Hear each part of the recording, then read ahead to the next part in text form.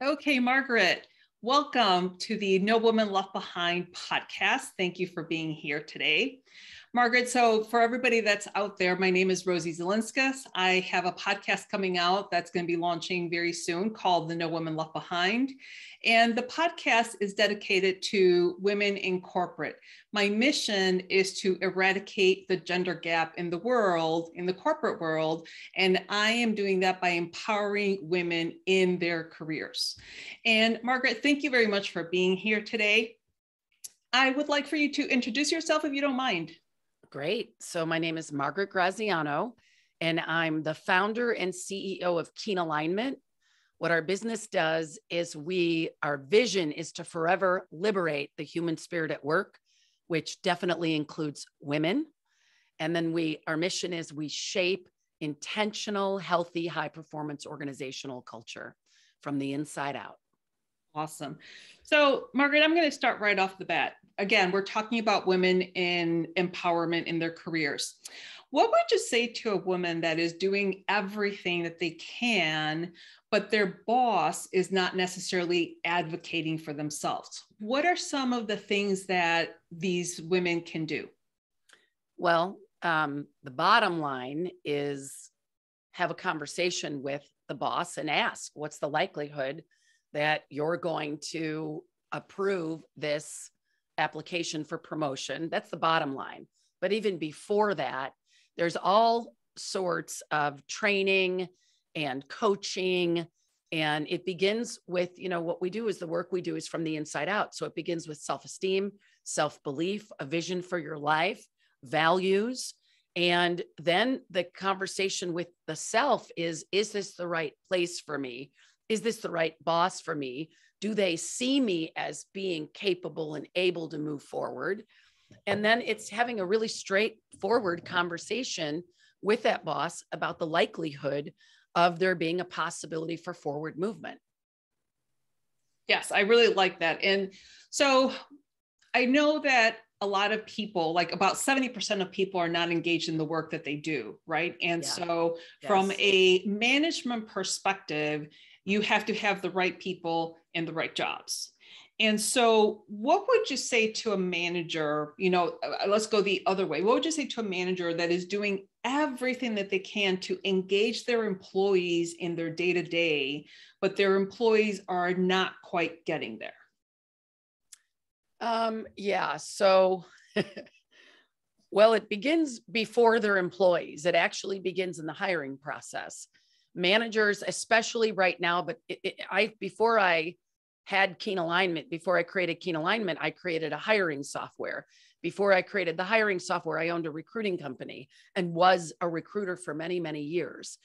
And the the engagement begins before you ever offer someone a job and why are you interested in this position and if the person is interested in the position because they need a job that's the wrong person to bring into the organization for a job that requires engagement.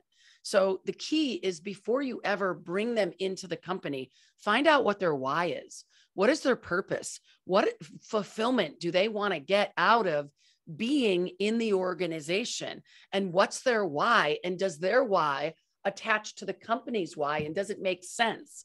From that point forward, the manager's job is to enable that human being to accomplish their goals through that job. And that might not have been the way it was in the 80s or 90s or even t- 2000 or even 2010, but it's darn as well the way it is now. And every person needs to know that their manager is an advocate for them fulfilling their life purpose through their career.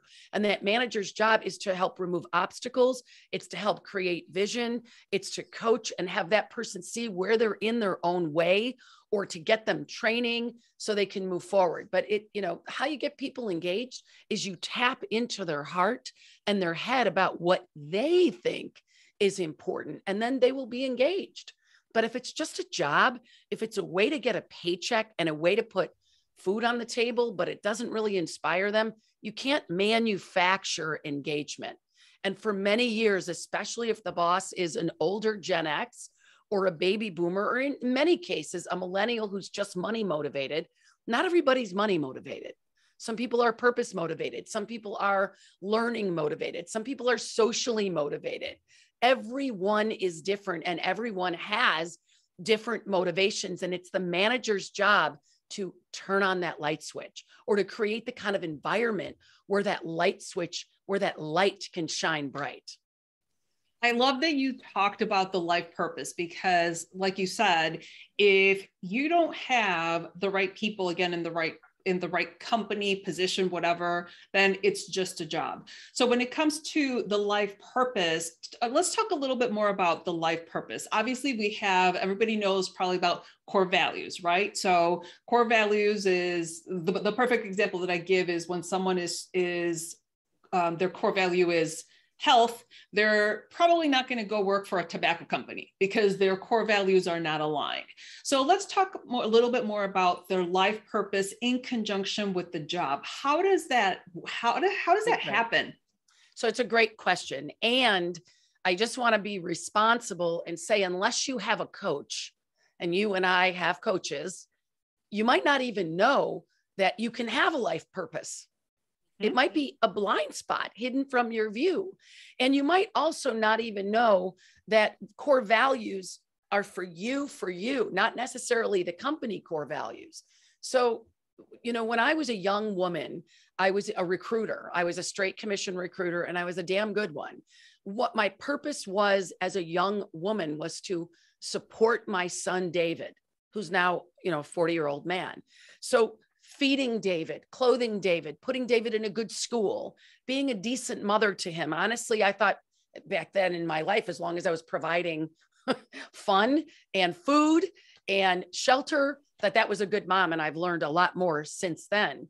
But my purpose was David. And then as my kids, uh, then I had two more kids and my purpose was them too.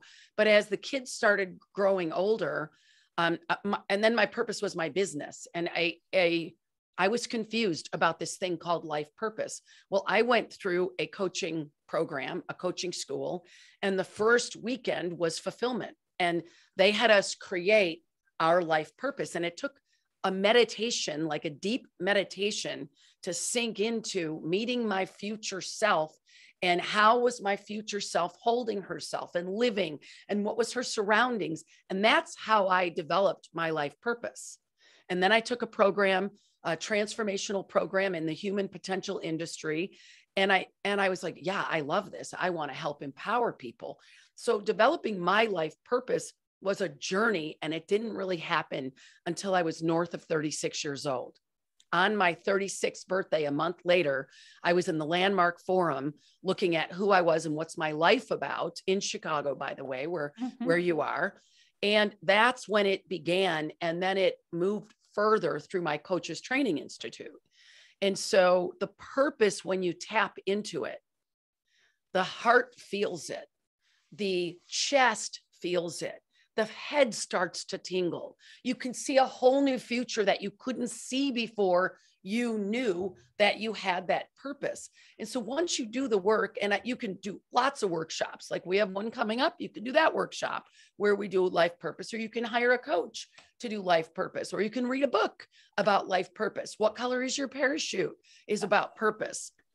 So so once you create the future that you want to live into it's the essence of what that purpose is. So for me i wanted to work with ceos and help them fall in love with their company again and even working for themselves i wanted them to get back to that new beginning of how they felt in the startup stages the jazz the passion and I created that at 36 years old. And at 56 years old, I'm now doing it. Although I'm 57, but I've been doing it for the last mm-hmm. 10 years. But it was a journey. And I always kept that purpose, that future self in front of me. And even in the choice to move to California and start the software company and then close the software company, even in those choices, it was always based on am I on the right track or am I off track? Am I on track or am I off track? And if you don't have a life purpose, you won't know when you're off track. And so, how it works in conjunction, let's say, in these days, if you don't have a noble vision as a company, if you don't have a noble purpose, you're not going to get conscious, awake, motivated, hungry people to work for you because people want to make a difference. Let's just face it, a global pandemic will kind of do that to you. You'll stop and say, What is this all for? Do I just want to schlep documents all day? Or do I want to be making an impact in the world and making the world a better place? So you've got company A who has a noble purpose, like my company, to forever liberate the human spirit at work. Who wouldn't want to do that? Well, probably a lot of people, but a lot of people would. And then you've got a person like Vivian who works with me, and she says, I want to help empower women. I want my life to be about empowering other people to go live their full potential.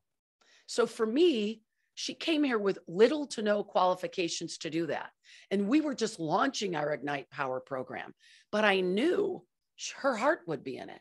And she has participated in so many Ignite Power modules and programs. I don't even have to coach Vivian on what to say or what to do or how to be.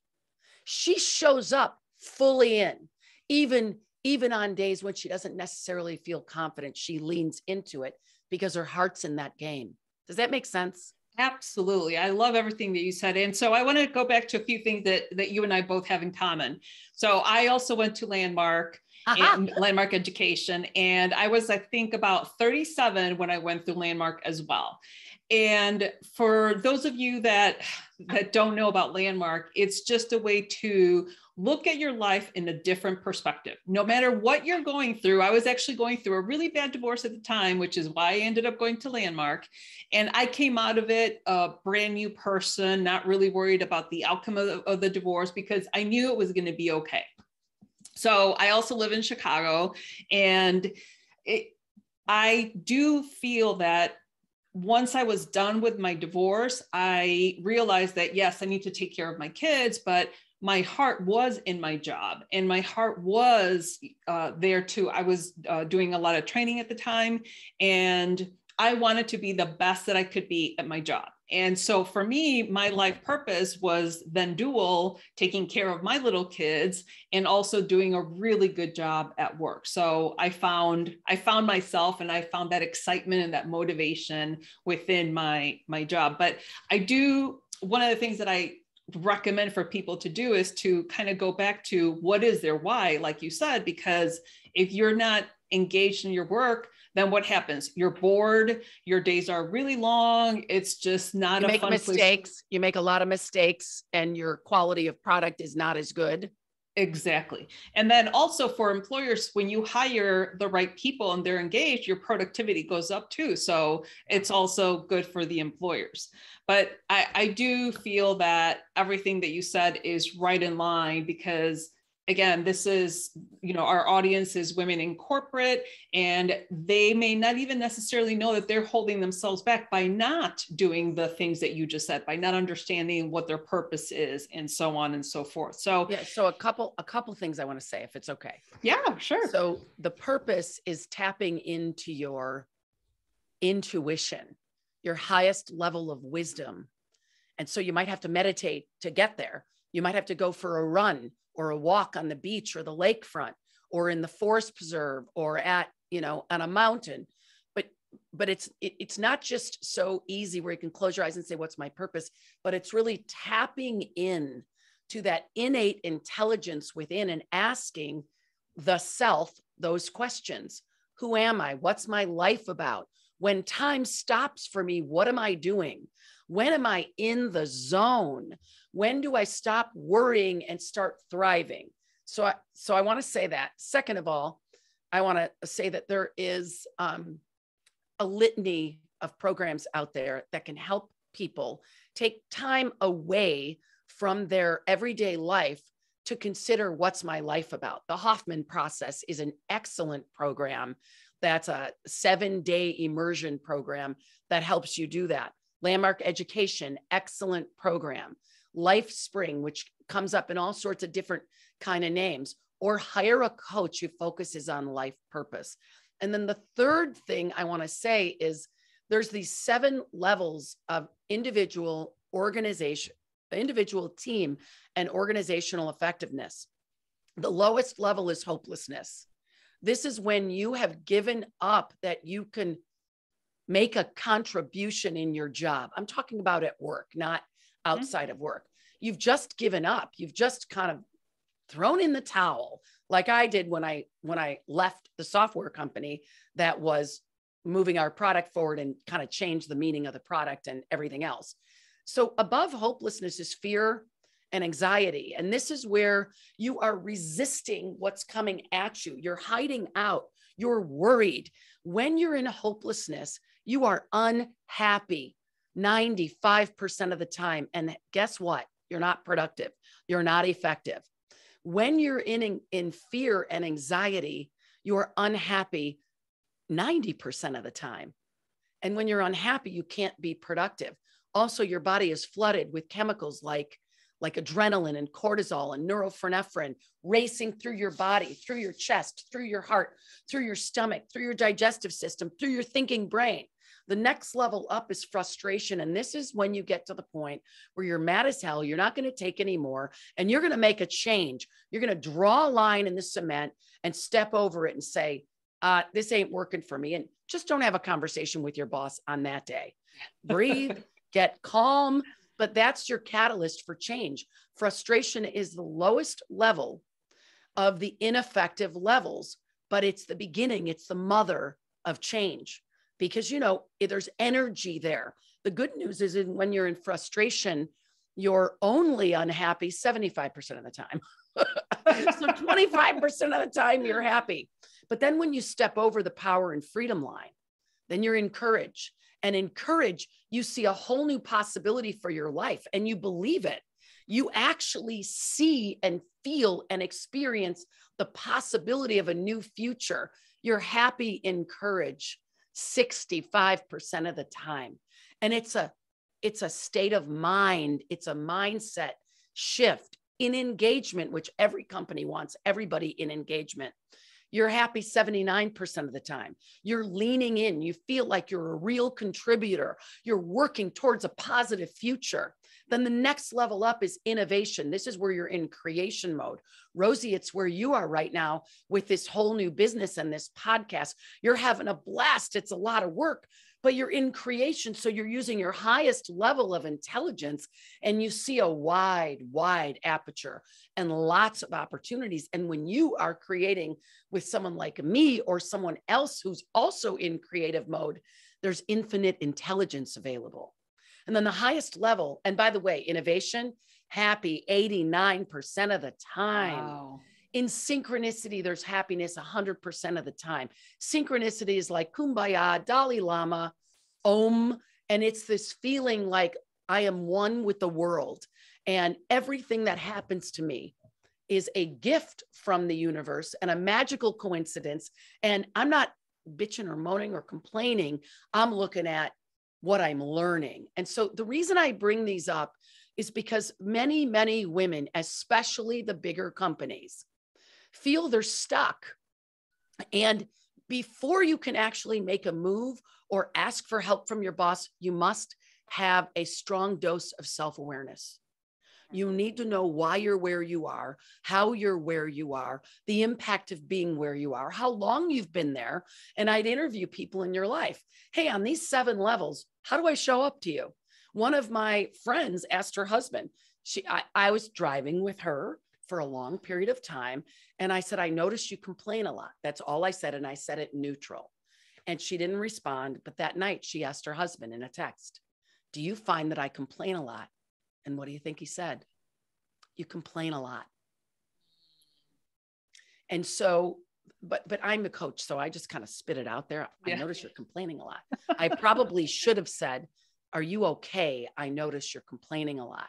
But mm-hmm. I didn't. And I was kind and I was loving when I said it. So anyway, Rosie, stop. I, I'll stop talking. Well, I love that. I was actually, I'm so glad you brought that up because I was going to ask you about the seven levels. So I'm actually glad that you that you went there.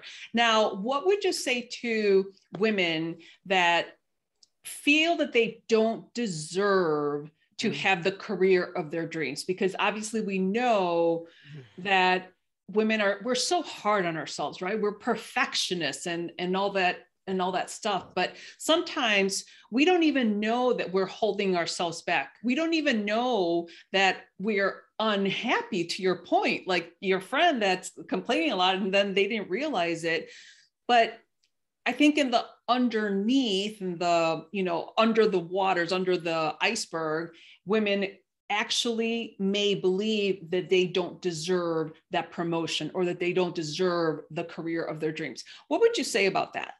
Yeah. So, so of course, I'm always a little contrary. First and foremost, I specialize in human potential. And I will tell you, just as many men, just as many men don't think they deserve it either. There is a small percentage of people, and many of them at least up until this point in the world, are very ego driven, very economic driven. So that drive has them go for that job. But I coach executives for a living, and 50% of them are men, and they have the same stuff even when they're in the job. But we'll talk about women. Mm-hmm. So there's something called patterns. And by the time we're seven years old, our patterns are programmed in our computer. And one of a core pattern is I'm not worth it or I'm not worthy, or I'm feeble, or I'm not capable, or I'm not lovable, or I'm I'm bad, or I'm broken, whatever it is. At Landmark, they call it, you know, your sentence. At Hoffman, they call it patterns. But it's this way of thinking that happens from the point a human is born and maybe in the uteri, uterus, but before they're seven years old. So when I was little, and I was having David. My mother in law said, You have to read Dr. Spock. He knows everything about raising children. And she was a clinical psychiatrist. Well, leaving children cry in their crib to soothe themselves actually puts a shame wound in a child and an abandonment wound that no one's there for them and they're a baby and they're screaming and they don't understand why this woman why this person who was loving me and hugging me and now the baby's screaming well, guess what? I let all my kids cry it out. Oh. Now they'll all be in the Hoffman process saying, yeah, she let me cry it out. And I've got an abandonment issue. But the point is, by the time we're seven, it could be simple. It could be the second kid is born. And the older kid says, eh, What's wrong with me? Why wasn't I enough for you guys? And so once we have that groove in our brain, that neural pathway in our brain that I'm not good enough, I'm not worthy, we don't even know we have it, by the way. That is right. invisible from our view. And then our perspective, our viewpoint, our, uh, the way we listen, the way we talk is all on top of that, that shield of I'm not worthy. And so then we get a job, right? And our boss, I say, I the the employee says, I'm really bored, like I said when I was at my first recruiting job. And one of the managers said, bored. You make more money than God. Sit down, shut up, and get on the phone. And I did. And I never, ever thought that that was wrong that she said that to me. Eventually, maybe six months, eight months later, I got a different job because I was bored. I wanted more. I, I could place people with my hands behind my back. It was just a gift that I had. But but let's go back to these patterns. So as we get, we have our first job and we have an experience with that boss. And if it's not a good experience, it validates that pattern. And even if we had a good experience, but then something bad happened, it validates. See, there's more evidence. Now, we don't know we're saying this. And then we might develop a new behavior around that pattern. And then we might get further and further down the road, and the groove, the neural pathway in our brain gets thicker and thicker. And then another job, and then another job. And so, what winds up happening is these patterns run our life. They get in our way of making good decisions. Because I have a dream, I want to work with CEOs to help them fall in love with their companies and their lives. And then the pattern says, Who the hell do you think you are? Who are you? You can't do that. Your, your father was a plumber or whatever it says. Okay. And then if you're not determined and have fervor, you're going to listen to that voice and take the left road. I, it took me after I was in the Landmark Forum in the advanced course, and I saw my life in 20 years from now, which was living in Northern California, doing retreats. It took me a decade to take action on that possibility, a decade.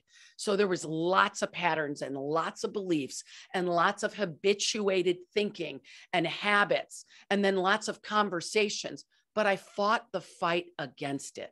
I kept working towards that future. But I'll tell you this, Rosie, I would go left, I would go right, I would go left, I would go right. I'd always get back on the road, but I spent a lot of time over here in the ethers or on the wrong path or with the wrong people. Right. Or when I first made the announcement that I wanted to sell my recruiting company, all of my recruiting friends thought that I lost my mind, that I was having a midlife crisis. What's wrong with you? You do this program and suddenly you think recruiting isn't good enough for you. And I was like, no, that's not it. I want more. I wasn't running away from anything, I was running to something. So, back to your original question why do women second guess themselves, question their ability, hold themselves back. And I love the way you ask that question because the only person who can hold you back is you. It's your thoughts, your beliefs, your habits, your patterns. And so the key is you have to have a possibility big enough for your life, a vision, and not just this is what I want to do for work, but where do I want to live? How do I want to live? Who do I want to live with? What's my life going to be like? Where do I want to go on vacation? How much money do I want to have? What's my future? You know, I had a, I had a guy that I was interested in, and I said, "What's your future for retirement?" And he says, "Well, I think I'll collect Social Security." and I was like, "Run for the hills," because I have so many goals and so many dreams. I don't want to be with somebody whose future is like collecting social security in this world. So, yeah. anyway, it's a very good parallel to people who see themselves no bigger than the box. And I was there. Every time I would think about my future, I would only think of a better version of recruiting or a better kind of recruiting company. I couldn't think of anything outside of this box. That was it. That's all I could see until one day I tapped in far enough and I could see a whole wide future. So it's a belief system. And you and that's just where that self-awareness comes in. So many people, Rosie, will say, Well, my boss won't promote me, or uh, my boss doesn't give me enough work or enough challenge, or I can't talk to my boss. No, all that stuff is projecting. All that stuff is transference. You can talk to your boss, you have a mouth, and you can say, Hey, I just want you to know I'm bored, like I did. I didn't know any better. And she didn't like what I had to say. But eventually I said, Bye bye. And I went and brought all my talents and gifts to a competitor without even trying to. I just needed a job. Right. But I hope that answers your question. Yeah, no, it does answer my question, but I am going to go back a little bit and unpack something. So, you said that you work with executive males and they have the same type of beliefs as far as that they're not good enough or, you know, they have their own, uh, whatever roommate in their head talking to them. So, and I'm sure that you're full aware of Hewlett Packard did a study of their staff like many, many years ago, and they found that men apply for jobs having 60% of skills, whereas women usually wait to apply for the same job till they have 100% of skills. So when we go back to your commentary about males have the same thoughts and the same uh, baggage, if you will, why then do they go ahead and apply for those jobs and women wait? Okay, so this might not be the politically correct answer, but if you think about the evolution of the species, men were hunters, mm-hmm. they were providers. Men must protect, provide, and procreate in order to be happy. That's Alison Armstrong's work. So they are wired, hardwired to be providers. Remember when I was mommy to David and I, you know, it was like being a straight commission recruiter or collecting collecting welfare actually at one point because I wasn't getting child support. And of course I made the right choice because I had drive. And so it comes down to the fundamental drivers. Men, more men are driven to earn high income than women are. So again, it could be programming, it could be hereditary, it could be epigenetics, but more men have their top motivation is economic return on investment. You know, whenever I hire people for my company, I want people who want an economic return on investment. And I've had some really great candidates, females who want to change the world, but they don't have an economic economic return on investment drive. So the concern is, will they do what they need to do to build a business? Mm. You know, it's that that yeah. killer instinct and go back to the evolution. Men had to hunt to feed the family. Women were gatherers. They gathered the berries, they talked to the other women, they shared information, they they were collegial and connected. And so a lot of women are driven without even know it's hidden again another hidden from their view are driven to serve so if you think about serving, I wouldn't want to apply to that job because I wouldn't be serving them because I'm not fully qualified. Where a man says, shit, man, I need that money. That's a great paycheck. I'm going to go get that job and then I'm going to work in the evenings to get myself qualified so I don't lose that job. I think, wow. and, and, and, and we could say that I'm part male because I'm very driven for economic and political and theoretical. But here's what, what's interesting. Before I had David, I was in school to be an interior designer. The first day of the class, the professor says, So you think interior design is about being creative? Because I'm going to tell you one thing if you want to succeed in interior design, you have to sell, you have to cold call, you have to build a business. I changed my major that day. So my motivation changed when the child came into my life and I had to be a provider. Right. Yeah. No, I, I totally agree. I, uh, I relate, I can relate with that because when I was divorced and I had these two little kids to take care of, then I had to bust my, you know, behind so that I can start providing for them. So I can totally agree with that. So Margaret, how does all this translate into women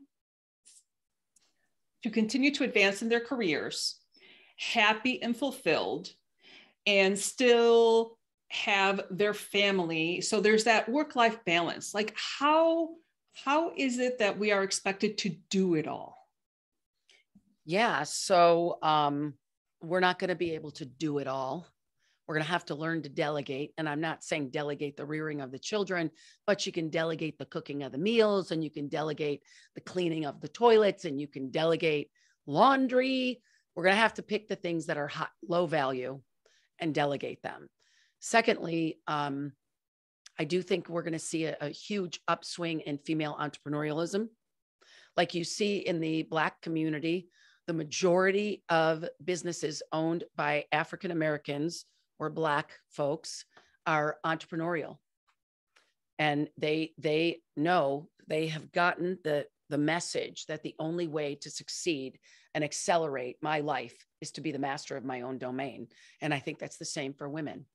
And there are some companies that are super innovative and not just talking about inclusion and diversity and not just promoting women because the board said they had to but really have this this experience of we are multi-gender organization and it just doesn't matter. Uh, so i think that women are going to have to be proactive in finding those opportunities or creating those opportunities. And then i think that the vision for the life and the values will determine what you need to say no to and what you need to say yes to. And let's let's also get that we don't need to be super women. She's a hero. She's not real she's superwoman doesn't exist. And so you know we all have Alison Armstrong calls it the ideal woman. What would the ideal woman be doing? Well the ideal woman would f- bring up the bacon fry it up in a pan and never ever let you forget you're a man. And she's hot as hell right? I mean we all remember that commercial except probably if you're under the age of 30 uh, but the point is there was a commercial on tv about like who you needed to be to be a successful woman. You had to be beautiful. You had to be uh, have a great body. You had to earn a living. You had to be able to come home and make a homemade meal, and then you had to be the the servant to your husband's sexual needs whenever he says, "Now, lady." And that's just not real. It's just not real. And I think we need to give ourselves a break, and we need to set really good boundaries around how much time we will spend at work. I honestly think the 40 hour work week is, going away. I think there's going to be way more people who say, I love the idea of 32 hours because I get to be in school and I get to have fun with my family. And, you know, I'm going to get so good at my job, I can command more money in less time. You know, it's like the four hour work week guy, but it's, it's becoming it's becoming more modern to go to the boss and say, I'll do this, this, and this, and this. And here's what I want to do it for. And I promise I'll deliver an X ROI. So it's more of a negotiation. So I think once you have your, your vision for your life and your values, and then you look at the areas of life that are important, like health and wellness, family, romance, uh, vacation, travel, fun, recreation, you know, all of it. And then you need to say, how much time am I going to spend in each of these categories? And what do I need to do for myself every day or every week? Maybe not in every category, but in parts of these categories. Because honestly, most people are running on autopilot until 2020 when they had time to say, what the heck is going on with my life? And I don't want it to end if this is all I've accomplished. 2020 Absolutely. was a, a massive reawakening and a reset and a recalibration, which is why we're having so many people say goodbye to their traditional 40, 50, 60 hour work weeks. Absolutely. They're done. Yes. And I, I, I spend a lot of time with CEOs and it's a, you can see how impassioned I am. It is getting easier and easier to get them to listen to what their people need and what their women need.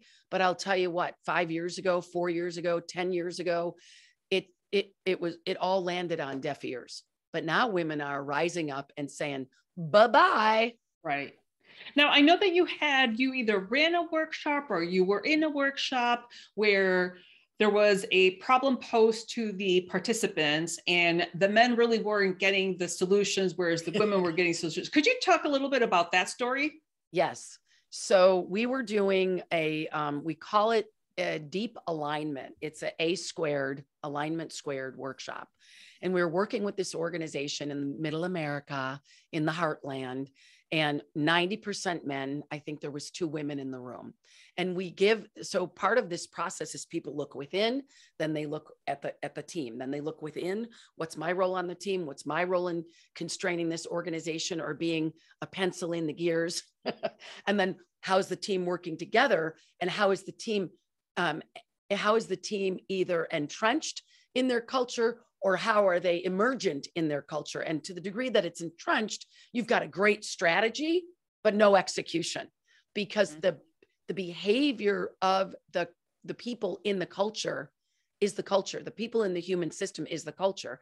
And culture will either forward your strategy or or um, collide your strategy or derail it. And so this company realized that they had an issue and they realized it had something to do with the culture and I think that the general manager got enough feedback that he was a flaming jerk and he needed to get, he needed to fix himself or he wasn't going to be there. So he happened to believe in what we were doing and he brought us there to work with the executive team. So they work on themselves. They say, what got me here is insufficient to get me there because if you've never done something, then you don't know who you need to be to do it.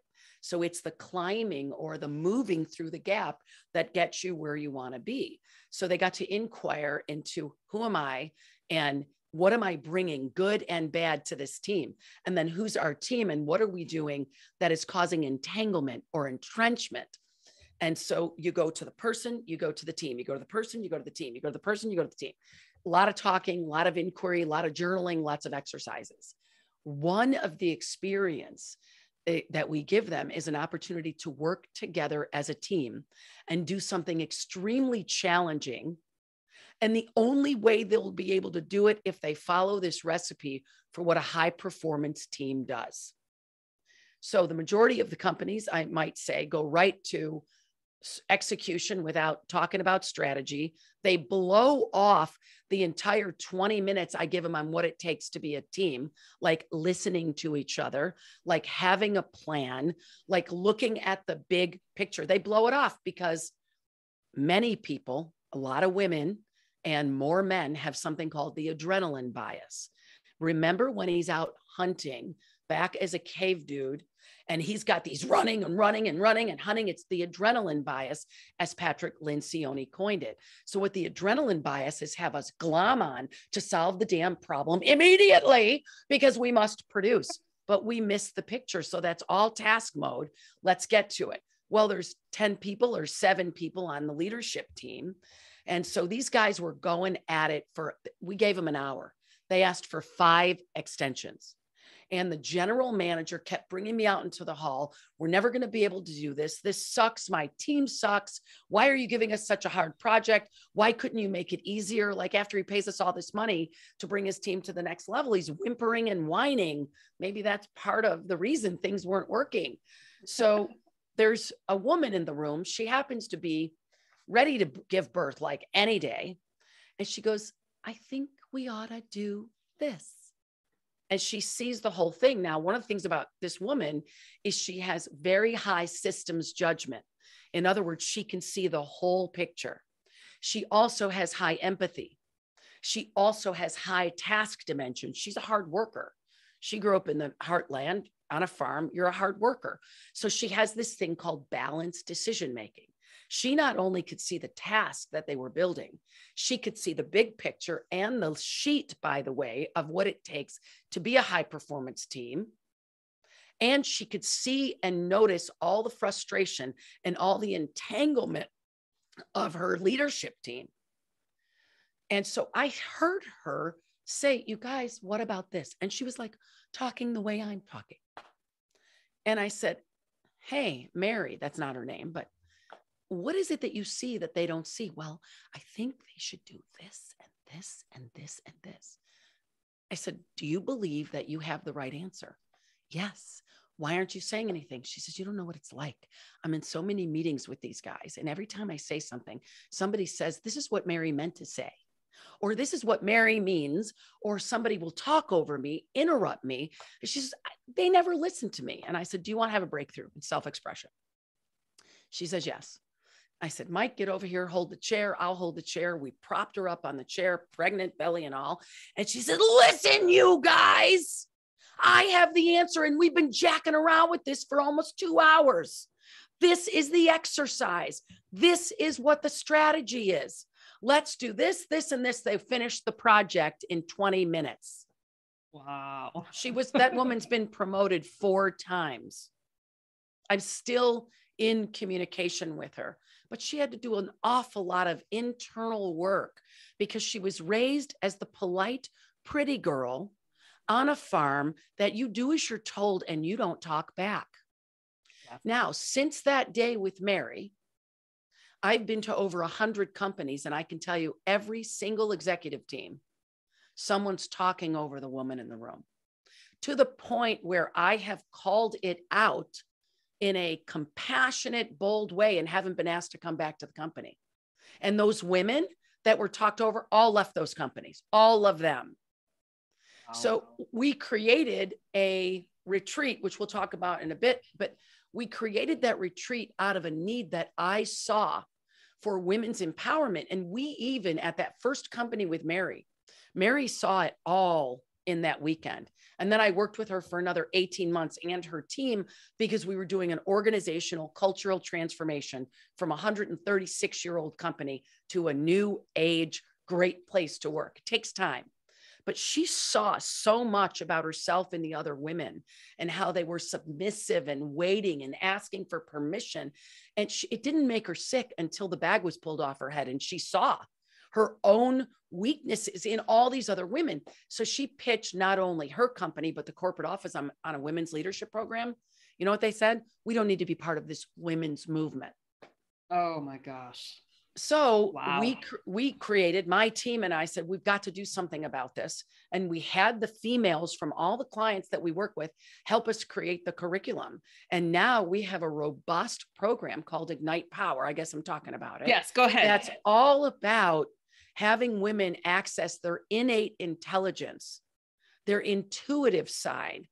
So, one of the things I was going to bring up about the um, how Mary got to see the solution. So, men, and this is this is documented, guys, if you're listening, men often, quite often, the reason they produce such great results is when they're hunting that antelope, they have single focus. The focus is to go provide.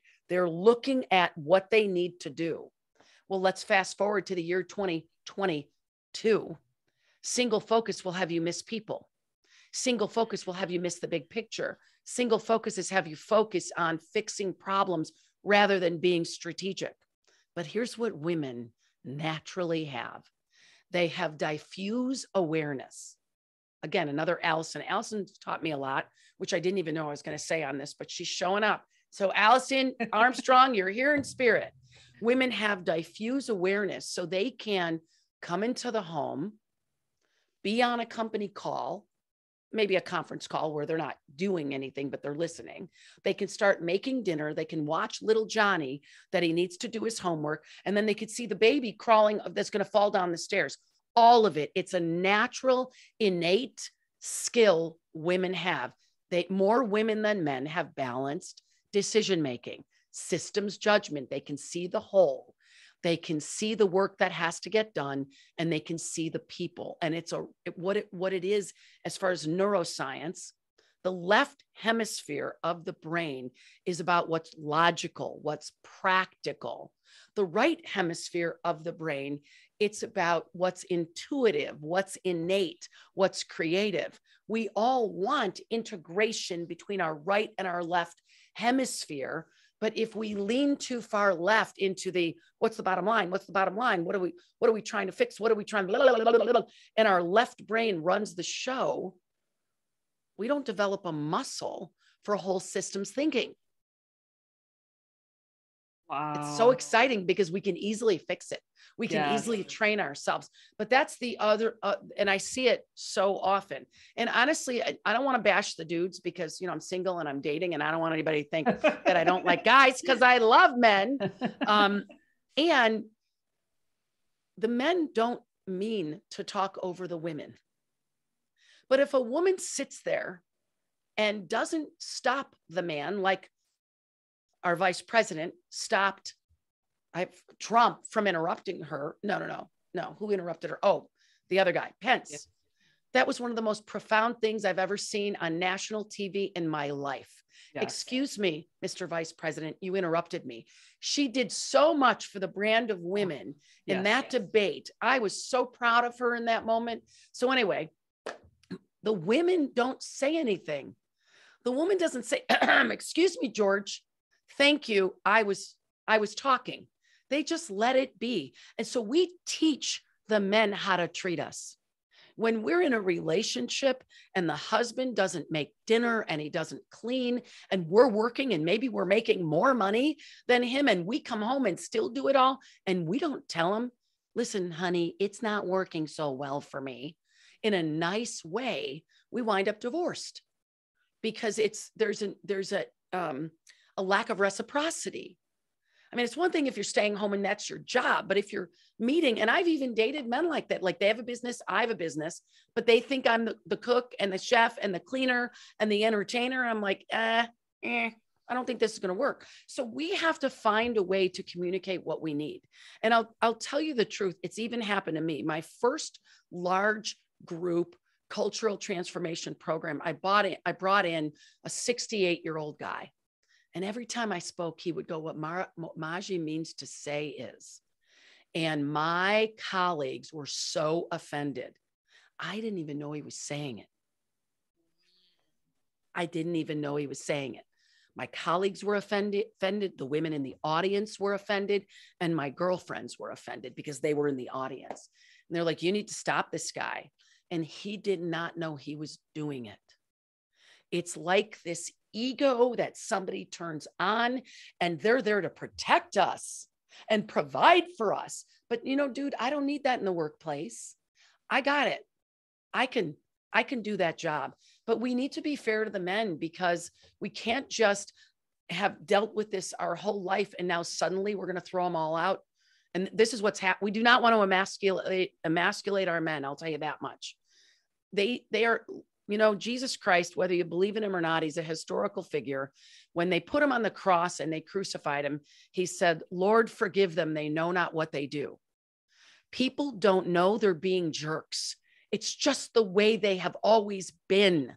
It's their program, you know, the program that the seven year old started writing, and then the 14 year old coded a little further, and then the 21 year old coded a little further, and nobody's called them out on this all these years.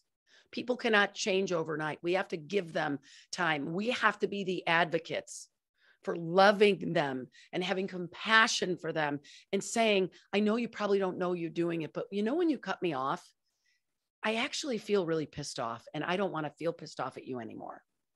So exactly. can we can we have a truce? Yes. I loved everything that you said. And so when is your retreat?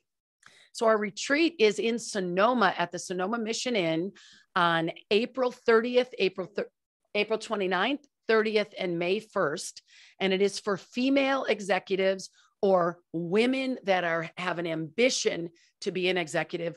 Fundamentally, it's also for female entrepreneurs and women who see that they want to have an influence in the world and they know that they need an edge to create that influence. They need an edge. This is about giving them the edge. This is not fixing anything. We're not doing deep therapy. We're working with healthy people who want to break through their career satisfaction, their fulfillment, their revenue, and want to create a life they love. And we're doing that April 29th, 30th, and May 1st at the Sonoma Mission Inn. And you can find it on our website. It's keenalignment.com forward slash ignite hyphen power, or you just put in hashtag ignite power. Awesome. Oh my gosh, Margaret, this was an incredible conversation. Obviously, everything that you said is in line with women that are trying to advance in their careers. So I, I think this was fantastic. And by the way, I just wanted to make one additional comment that sometimes when I'm telling my husband about some kind of whatever, he's trying to solve it for me. And I'm like, I don't need you to solve it for me. Just listen.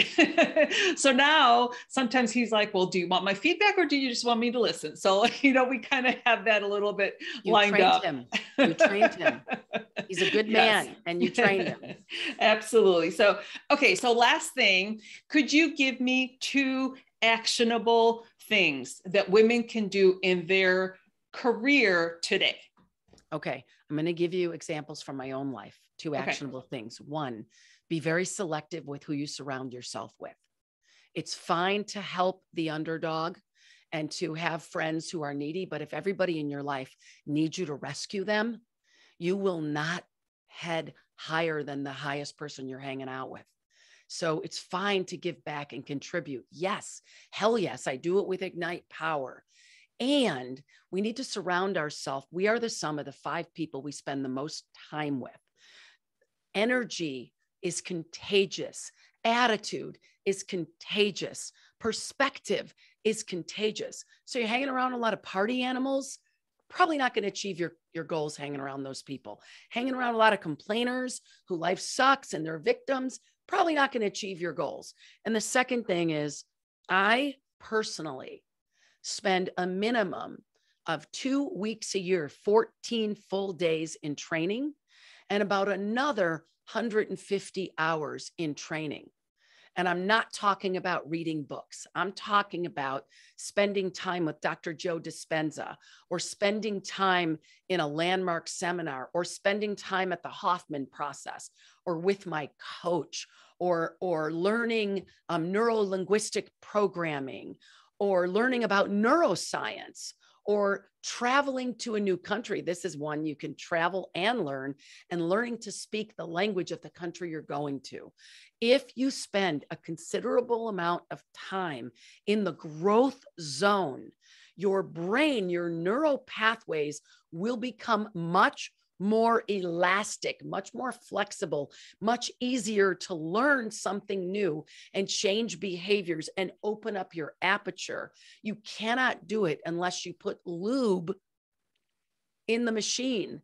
And the machine is static. It's like a computer program.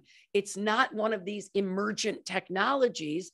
The brain is fixed unless you train it to be agile. And that's the beautiful part about being a human. We can reprogram our program, but we have to consciously know we're reprogramming it. If we just say, God, I wish I had a better job, and I wish I had a great boyfriend, and I wish uh, my life was easier. I wish I had uh, a servant. I wish it was like, you know, Jolo or J-Lo or whoever she is, and I could have this and that. That's not going to happen we have to say, this is the future I want. These are my values. and I'm going to go at learning and getting better and being better and being kinder and being more compassionate and, and learning to manifest my own dreams. That takes work. So, two things surround yourself with people who have a like mindset, who believe like you believe in the future that you want to create. Second, and that can be any way you can go find them or you can build the community anyway. And then, or you can help and try to get your friends to see life your way, but that might take a lot more time. Second, never stop learning and not just reading books, but engage in training, engage in new perspectives, engage in stretching your brain. Can I say uh, one last thing? Absolutely. Five keys to neuroplasticity, retraining the brain. That's almost the entire conversation we had today. Yeah. Probably because that's my field, human potential. Remember, the vision is to forever liberate the human spirit at work. Five keys to neuroplasticity eat well, and not from the old food pyramid, but from the Mediterranean food pyramid. Second, move your body you know that song shake your body yeah. move it. I'm not talking about aerobics or karate anything. Get the body moving. Yoga walking running biking triking you name it. The body is meant to be in motion. A body that stays in motion stays in motion. We don't want to be decrepit when we get old. Second or third get enough sleep. I was just in, in a week long program called the Hoffman Process. Every single day, they said, How much sleep did you get? Why did they say that? Because they know you can't learn new things. You can't change your behavior if you're friggin' exhausted. Mm-hmm. Four, have fun. Go do novel, cool things that you've never done before. I had this um, coworker once in my life, and she, Charlotte, and she would do every quarter, she would learn something new. And I said, Why are you doing that? She said, Because I never want to get stale. That was the first person I met that was living the growth mindset. And then last is practice focusing yourself. It could be mindfulness, but doesn't have to be.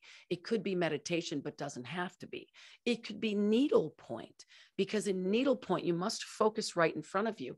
It could be art. It could be, but it can't be work. But it's training the brain to focus on one thing. Cognitive scattering is the biggest problem with being able to learn and grow. And it's turning into an epidemic. By the way, I have a book coming out and that book is called Grow Up. And it's all about transforming organizational culture from the inside out. But we talk about this multitasking addiction and cognitive scattering and its it's depletion of creativity. And so the training your brain to focus allows your brain to sort out. Remember how we said the men have monofocus? Well, a lot of women are scattered. Another word for diffuse awareness is scattered. Multitaskers, we have to learn to focus on the one thing we're working on and get it done. So, five keys to neuroplasticity mindfulness, mindfulness, novelty, sleep, exercise, and good nutrition. Wow. I was just going to say this entire uh, time that we've been together, we've been talking about the growth mindset. So it is, there is actually a book, Growth Mindset by Carol Dweck, that is a fantastic book. So Thank you so much, Margaret, for being here with us today. Everything that you said is, you know, take take what serves you and apply it to your life because we talked a lot about life stuff, but apply it also to your job. And it doesn't necessarily have to be a corporate job, it could be any job. Right. But everything that Margaret said is, you know, you can take at least one thing and apply it to your life. So thank you, everybody, for being here with us today. And remember to be brave, be bold, and take action. Right on.